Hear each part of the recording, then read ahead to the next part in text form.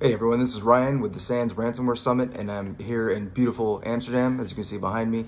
And I just want to say that I'm extremely excited for the offering that we have this year, the 2023 Summit. We've got the amazing Mr. Allan Ransomware Sommelier Liska, who's going to be doing a talk on the RaaS landscape, talking about the vultures picking apart previous code and using it for their own, and what that means for all of us and how to deal with it. We have talks ranging from initial entry vector, like a talk on callback attacks, all the way through post-encryption events, including ransomware negotiations and, for example, data science and how they're related. I got to meet one of our speakers, actually, Josef from CrowdStrike, last night here in Amsterdam. I had a fantastic time with him. He'll be presenting on ESXi, a landscape that's very important for all of us to be far more familiar with.